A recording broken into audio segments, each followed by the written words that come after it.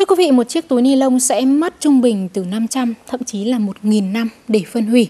Nếu như mỗi ngày chúng ta sử dụng à, mỗi người à, từ 1 đến 2 chiếc túi ni lông để đi chợ thôi thì có thể là bạn sẽ không thể tưởng tượng được à, số lượng túi ni lông thải ra mỗi ngày lớn đến như thế nào.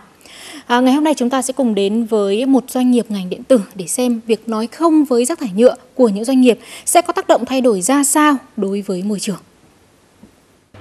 Một chiếc tivi khi được đóng gói sẽ phải dùng đến 4 chiếc túi ni lông và tại doanh nghiệp này một tháng riêng dòng sản phẩm tivi đã dùng hết 1 triệu túi ni lông, chưa kể đến 3 triệu túi ni lông cho các sản phẩm đồ gia dụng.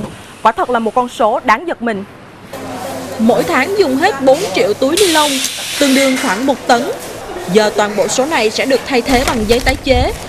Trước mắt là đóng gói các sản phẩm tivi sau đó là nhiều loại sản phẩm khác của tập đoàn, bài toán chi phí cũng thay đổi cao hơn khoảng 2 20%.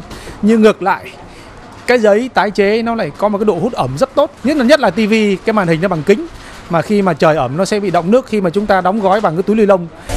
Hết tháng 4 sẽ không còn sản phẩm nào dùng túi ni lông, đó là cam kết của doanh nghiệp. Nhưng khó khăn trước mắt là phải tìm được nhà cung cấp nguyên liệu thay thế, giấy hoặc có thể là ni lông sinh học từ bột ngô, bã mía có khả năng phân hủy hoàn toàn. Với những sản phẩm túi bột ngô, chúng tôi đã xuất khẩu thành công sang châu Âu từ năm 2016. Tuy nhiên, đến bây giờ chúng tôi mới có điều kiện để làm việc với các doanh nghiệp Việt Nam. Chúng ta đang kêu gọi người dân không sử dụng. Nhưng đó là mấy phần phần ngọn thôi. Phần gốc ấy chúng ta là phải làm là phải từ trong doanh nghiệp ra không được áp dụng ly lông vào trong sản phẩm thì chắc chắn là khi người tiêu dùng không có để mà sử dụng thì Bộ Tài nguyên Môi trường sẽ khuyến khích nhiều hơn những doanh nghiệp ngành hàng tiêu dùng tham gia giảm thiểu rác thải nhựa bởi điều này gây tác động mạnh mẽ khi mà lượng túi ni lông các doanh nghiệp đưa ra thị trường mỗi ngày là rất lớn.